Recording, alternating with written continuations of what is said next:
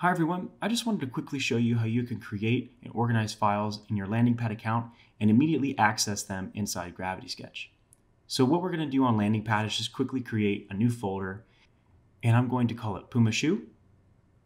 And then we're going to scroll down to our Gravity Sketch Puma model and we're going to click the Move button and we're going to select the folder that we just created.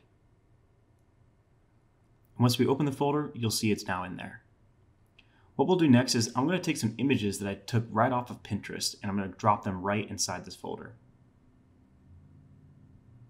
Instead of creating reference image folders inside your file system, you can just drop your images right inside LandingPad. So once we jump into Gravity Sketch and you look over to your left, you'll see the folder we created on LandingPad with the shoe inside of it.